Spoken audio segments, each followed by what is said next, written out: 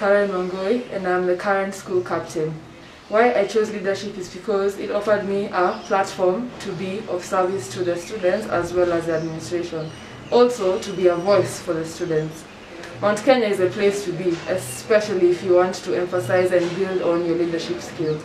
The current prefect body, the one that I work with, is made up of a group of individuals ready and willing to put the time and effort that it requires to build the school, to better the school.